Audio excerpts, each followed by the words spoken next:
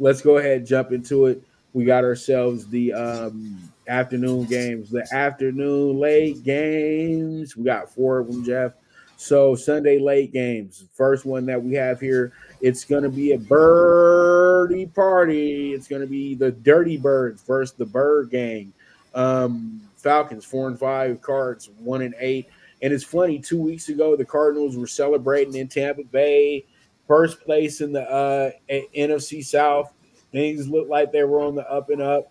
You know, Desmond Ridder got pulled out the game, so everybody got really excited about what's going to happen next for this team. Bringing Taylor Heinicke, you know, to to get us back to the to, to, to lead us for the rest of the year. I think that they'll be going back to Desmond Ridder fairly soon. Jeff, to be honest with you, Desmond Ridder is a guy that I feel like is going to give you a way better chance to win than Heinicke. Heinicke's already proven us that he's not that good of a quarterback. He's he's okay. He he has moments, but you know, um, Desmond Ridder isn't that great, but I prefer him over Heinicke to be honest with you, because he does present an element of a guy that's really trying. And I don't think he would have lost this game against Minnesota. The guy plays much, much better at home. But I know the coach wanted to teach him a lesson because he can't stand upright. Guy got six, sacked six times in the first quarter. So they just, it's just, you know, for now, we're just going to take a little break off. I understand that part. But all in all, Falcons, I feel bad for you because somebody's coming back uh, to the league Sunday who's been out for some time now, and we know the havoc he caused he caused a few years ago, and we know how he's one of Jeff's favorite fantasy guys as well too because he's taken care of Jeff pretty much every single season he's been healthy as well too, and none other than the man himself, the Heisman Trophy winner number one pick in the uh, draft, and he was seen as the next big thing in the NFL before his coach tattletaled on him about uh, the playbook. So, other than that, Kyler Murray will be back in the house on Sunday, and you know what? He's going to go ahead and hand the Cardinals their second win of the season. I'm taking them straight up on the uh, minus 110. When you can't get no value on the Cardinals, you got to just bet them, Jeff. When you can't, you know, I, got to bet them uh, something smells here though, though because I, you know, I, I I get the fact that you know here come the the Dirty Birds, four and five versus a one a one win team. I thought there'd be more of a tick with the return of Murray. Uh, my true number initially was Atlanta favored by three with a 41 and a half. It's now one, actually one and a half at Circa with a 43. Um, I too took uh, uh, the the bump. I took uh, the the cards plus the two minus the one twenty. We bought the hook.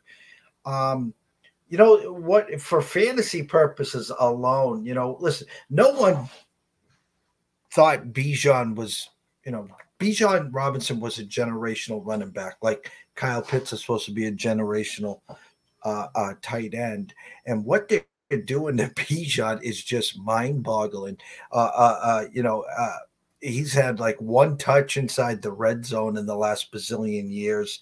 Uh, uh, they bring in Allgeier, they'll bring in Cordarrelle Robinson. I, I, I mean, anyone but Bijan. They're just trying to out trick themselves. In comes Heinicke, as you said. You know, every here comes the, what we needed. Well.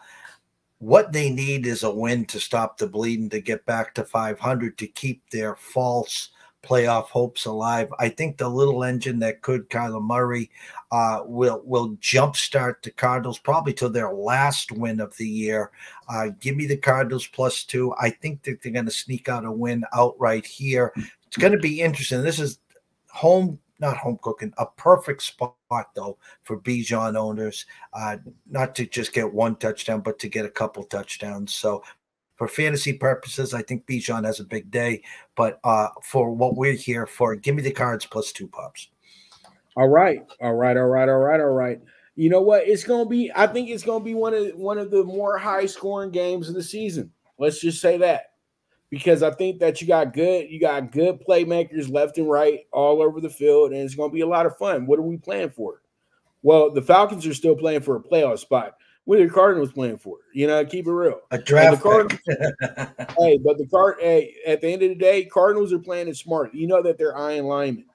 You know that. They're not saying, "Oh, let's go get Caleb Williams." They're, they're not even in the Caleb Williams market right now. But we know that there's other teams in the Caleb uh, Williams market right now, like the Giants. You know what I mean, and the Pats. But I think that they're all going to be chasing Drake Maye, dude. To be honest with you, but we'll we'll we'll have draft talk soon sooner rather than later. Um, Lions six and two, Chargers four and four, plus one and a half. And I called it, Jeff. I knew it was going to happen. That they were going to make the Lions uh, favorite in on the West Coast uh, against a team that's just won two in a row and have won these games by more than 20 points. And they've done it on prime time as well, too. I'm just going to say this because I'm going to let you kick this one off. The Chargers are the gift and the curse of the NFL because how can you be that damn gifted and that damn cursed at the same time? It's just, it's mind boggling that this team can lose two in a